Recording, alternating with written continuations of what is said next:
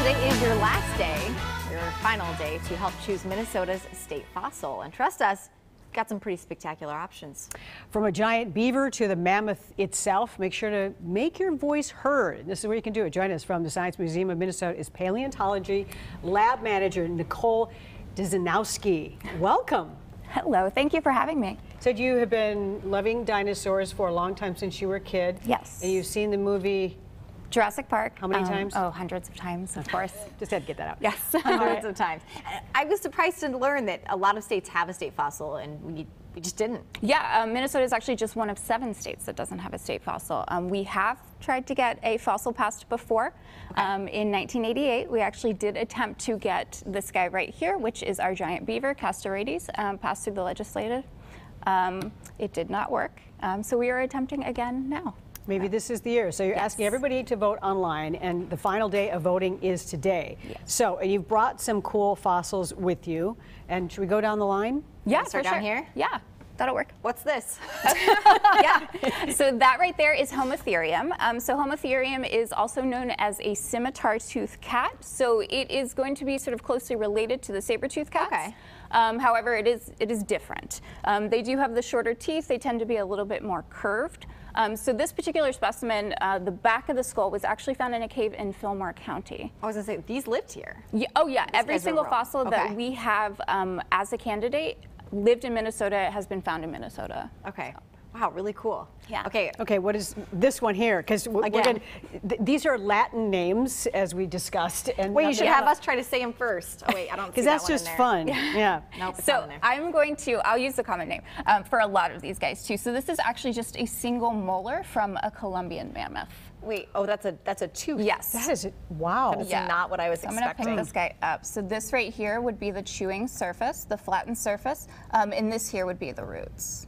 Wow. Okay. Okay. so that's just one single tooth of Yes. a woolly mammoth. And where, do you know where that one was found? Um, this one I'm not 100% sure about. Uh, woolly mammoths in the state are found in um, central and southern Minnesota. Okay. Amazing. It's a big tooth. I just I'm like just a good idea of how large they were. Okay. Yes. All right, uh, here is a giant beaver skull. Yes. You just read that off there. Yeah. Yes, I No. did. Did you know? Yes. Could you tell? So this right here is Castorides. So Castorides is a giant beaver. This particular specimen was found in Blaine.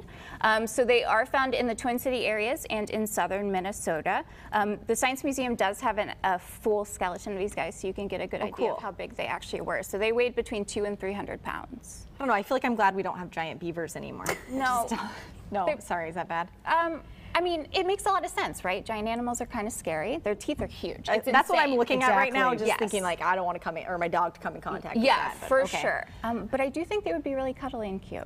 Well, okay. I mean, Okay. every animal with their babies. Yeah, I mean, and The baby giant. I'm very partial to, to rodents, but Okay, this is good to know. Uh, What are we ending with? It. Oh, so these are amazing. So these are our stromatolites. Um, this is the oldest fossil that is found in Minnesota. So these guys are going to be about 1.9 to 2 billion years old. Wow. Which is absurd. It is insane that Minnesota has such a rich fossil history and that our geologic past goes back that far. Um, so these are actually cyanobacteria. So they are single-celled organisms that make an algal mat.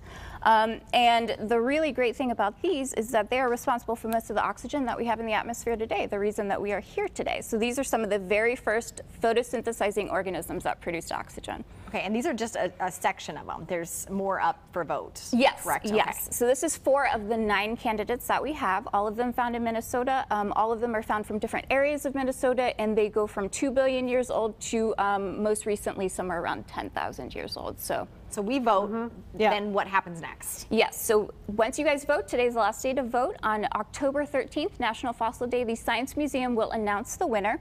And then these, um, whoever wins will be moved through the legislative process, and hopefully we will have a new fossil for you guys soon. We've been. It sounds like we've been trying for uh, a couple of decades now. So Yes. it's time. I have a feeling this is going to be the year. Yes, for people get in there, and there's a reason because, of course, it's it's important to our state's history Mm-hmm. and um, obviously the science world. Yes, and it, it helps us forge a connection with the state. Minnesota has so many things to love about it, and this is just another thing to love. So. Secretly, who do you want to win? I Who'd you voted vote for? The, I voted for the beaver.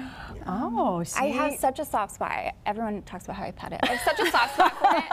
I love know- all of these fossils, but they're all deserving. They're all amazing in their own ways. Love your we know- passion about your work. Nicole comes loves the giant beaver. Okay, all right. Yes. Well, thanks for joining us. And by we talked about this, the voting ends tonight, so make your voice heard at smn, smm.org. Yes. Yeah, and if you missed any of today's fossil facts, you can post, or we're going to post them, not you posting them. We will. Today's segment, it'll be on our Facebook page.